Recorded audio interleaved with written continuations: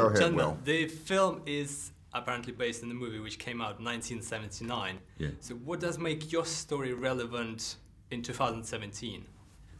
If we'd have made a remake of it, it wouldn't have done, but we didn't. Mm-hmm. We, we made a reimagination of it, and it's a completely different story.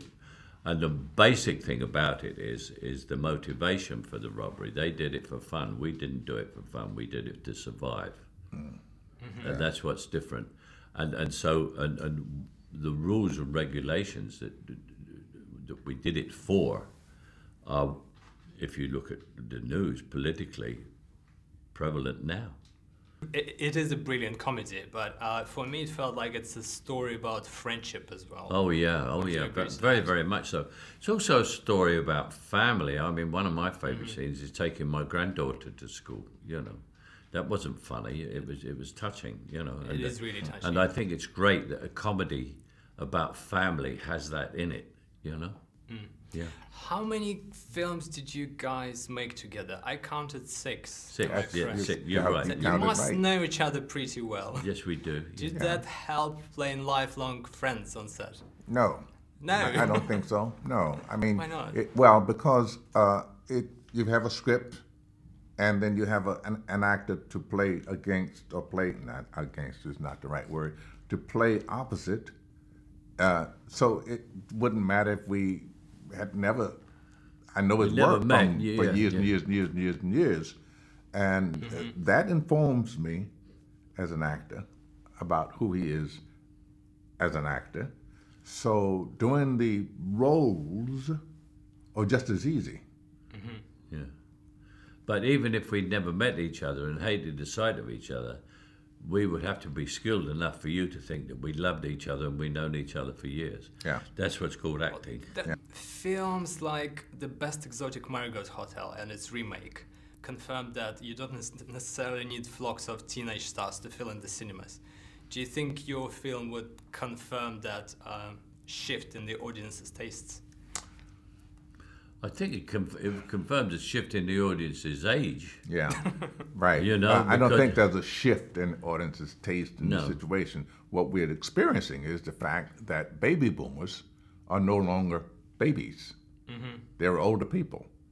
So there was this really large segment of, of society that uh, this age group speaks to. Yeah. Am I? Yeah.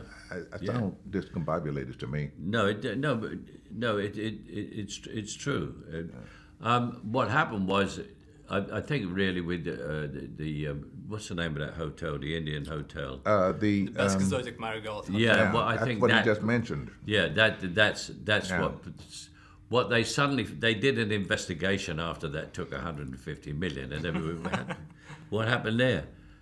And they found that older people were fed up with sitting watching television, but mm-hmm. nobody was making a movie for them to go and see. They didn't want to go and see Spider-Man 4. You understand what I'm saying, or Yeah, whatever yeah, it is. yeah? absolutely. And there were no films out there for them to see, and now there are, uh, including this uh, one. I thought Christopher Lloyd's character was uh, very funny, but absolutely bonkers at the same time. Yeah. And Oh, yeah. if I want to live up to 70, 80, 90 or beyond and stay sharp and active as you are, gentlemen, Mm. what shall I do more? What shall I do less? What would you Stay say? active for for one thing. Yeah. Uh-huh.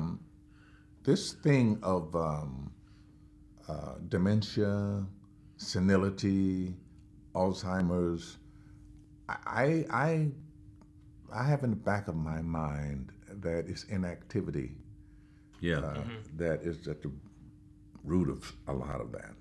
You know, uh, if you're active, if you play golf, you play bocce you have a reason, you have a an activity that forces your blood to flow, oxygenate, oxygenates your brain.